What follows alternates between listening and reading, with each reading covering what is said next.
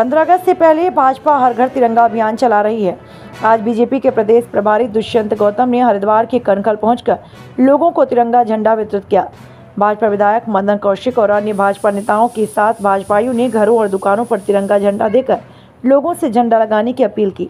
दुष्यंत गौतम ने कहा कि स्वतंत्रता दिवस तिरंगा झंडा लगाकर हम राष्ट्र के प्रति अपना कर्तव्य निभा सकते हैं। ओलंपिक में भारत का ध्वज नहीं लहरा सका, लेकिन भारतीय 15 अगस्त पर ध्वज लगाकर उसकी कमी को पूरा करेंगे।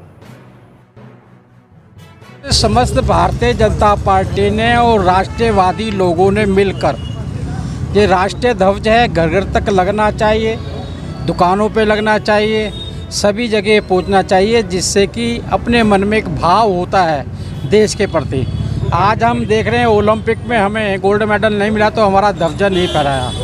बड़ा दुख है पूरे देश को, लेकिन उसकी भरपाई हम ध्वज द्वारा अपने घर पे भी लगाएँगे, मन में भाव पैदा होगा। देश हमेशा कुछ, सब कुछ हमें देता है, हमें भी कुछ देना सीखना चाहिए। इसलिए एक जज्बा पैदा करने के लिए हम लोगों को ध्वज दे रहे हैं। दुकान पे हमारी तरफ़ से लगाएँगे और घर में, पड़ोस में खरीद कर वो खुद लगवाएँगे।